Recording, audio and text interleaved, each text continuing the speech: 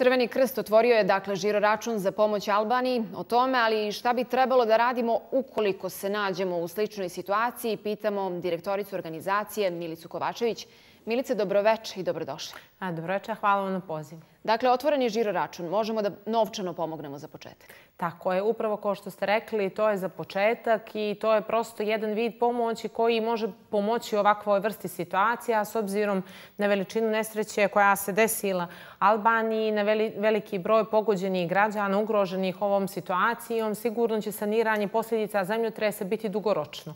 I u tom smislu je finansijska pomoć za njih dobrodošla jer ćemo mi svak prikupljena sredstva po završetku akcije prebaciti na žiro račun Crvenog krsta Albanije koji će onda od tih sredstava vidjeti koji je najbolji način kako da ih upotrijebe i kako da odgovore potrebe najugroženijih. Osim novčano, kako još možemo pomoći? Pa eto, to je pitanje i to je dilema koju su imali brojni građani koji su nas danas kontaktirali sa brojnim inicijativama.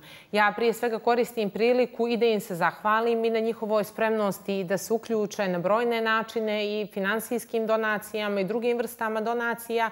Međutim, ono na što želim da apelujem, to jeste strpljenje. Mi smo i kao građani uvijek pokazivali sigurnu humanost i solidarnost uvijek kad je to najteže i nažalost i u skorijoj i daljoj prošlosti smo imali brojne situacije kad smo polagali te testove humanosti. Međutim, opet, nažalost, i ova situacija pokazuje da će biti potreban duži vremenski period, kad će biti potrebna podrška svih nas, tako da treba da djelujemo u skladu sa potrebama i apelima upravo koji nam dolaze iz Albanije. Što se tiče Crvenog krsta Crne Gore, mi smo odma nakon zemljotresa kontaktirali kolegi iz Crvenog krsta Albanije, ponudili im pomoć i podršku. To je prije svega i naša normalna i ljudska reakcija, a kamoli da kažem da je to nešto što je svojstveno i našoj organizaciji, a i prije par godina smo i potpisali zajednu inicijativu upravo susjedi pomažu prvi, jer i ovo jeste jedna od situacija kad se uvijek očekuje pomoć od susjeda. Međutim, oni su, su trenutno u fazi analiziranja potreba, kao što su u početku apelovala cijela njihova država, to je da im trebaju timovi za spašavanje i timovi za spašavanje iz brojnih zemalja. Evo imamo priliku da vidimo iz naše su tamo.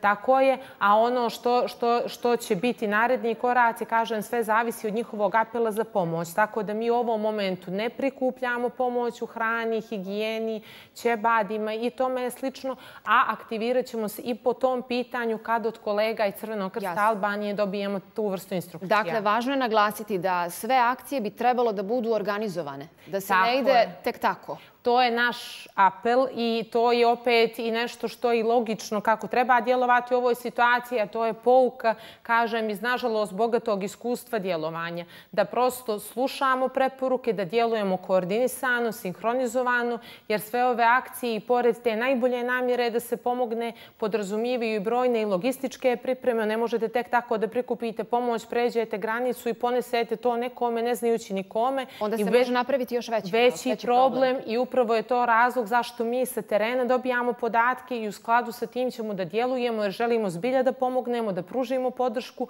a ne da u nekom momentu možda stvorimo i veće probleme da nekoga... Ili budemo čak i smetni. Jeste i da nekoga ometemo u redovnim aktivnostima. A šta ako se nekada nađemo u sličnoj situaciji? Kako mi da reagujemo? Šta je nama potrebno? Pa što se tiče e, konkretno ovih situacija, one su uvijek opomena. I one uvijek i govore to da ne možemo da mislimo samo o nesrećama različitog oblika onda kad se one dese. Ne možemo kad se desi zemljotres da pričamo o tome kako djelovati tokom zemljotresa, kad se desi poplava kako djelovati tokom poplava, nego da se trudimo da se pripremimo za ovakve situacije. Da kad se one dese, da se trudimo da ublažimo njihove posljedice. Tako što ćemo mi prije svega biti kao građani pojedinci pojedinačno svi edukovani kako da reagujemo u ovim situacijama, da zaštitimo prije svega sebe, svoj život, svoju okolinu i na kraju, eto, u nekim situacijama i svoju imovinu, mada se o tome manje misli kad se to nešto desi. A opet i kao cijeli sistem moramo unaprijed da se pripremamo, upravo da vježbamo kako da komuniciramo, da simuliramo ovakve situacije, da bismo vidjeli što je to na čemu treba raditi, da bismo osnažili naše kapacitete. Isto tako i građane molimo da i oni budu u stalnoj komunikaciji s organizacijama i institucijama koje su nadležne za djelovanje u ovoj situaciji i ako imaju neku ideju, inicijativu koje su, kažem, uvijek i dobrodošle i zarazumijeti su i puno smo ponosni na naše građane kad su spremni da pomognu u ovakvim situacijama, ali opet da pitaju one koji su, koji se to mogu slobodno i reći možda bolje razumiju kako postupiti tada, koji je najbolji način, koji je redoslijed koraka koje treba da preduzmemo, a mi ćemo redovno sve njih informisati kako ćemo mi djelovati, kakvi su naši podaci o potrebama i u skladu sa tim ih pozvati da se oni uključe. Milice, hvala vam mnogo na gostovanju. Hvala i vama na pozivu.